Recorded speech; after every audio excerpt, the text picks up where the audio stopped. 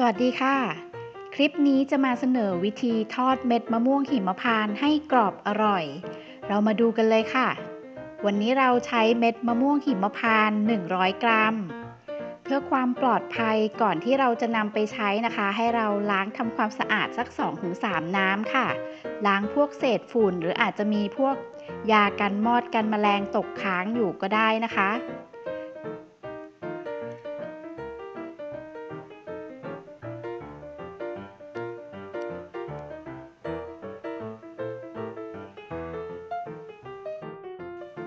หลังจากล้างทำความสะอาดเรียบร้อยแล้ว ให้เรานำเม็ดมะม่วงหิมพานต์มาผึ่งไว้ให้แห้งสักประมาณ 1 ชั่วโมงค่ะ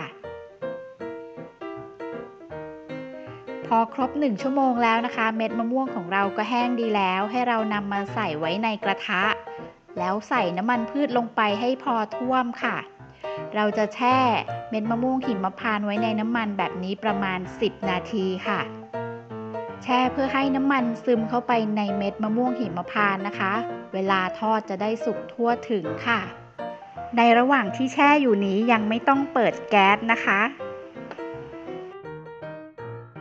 พอเราแช่ครบ 10 นาทีแล้ว ก็ให้เราเปิดแก๊สใช้ไฟอ่อนที่สุด แล้วรอจนกระทั่งน้ำมันร้อนนะคะ พอน้ำมันเริ่มร้อนให้เราคน คนไปเรื่อยๆ ห้ามหยุดคนนะคะ คนไปจนกระทั่งเม็ดมะม่วงหิมพานต์สุกทั่วค่ะ ใช้เวลาประมาณ 4-5 นาที พอครบ 4-5 นาทีสีก็จะประมาณนี้ค่ะ เริ่มเหลืองทองแล้วนะคะ ให้เราเสด็จน้ำมันแล้วเอาขึ้นค่ะ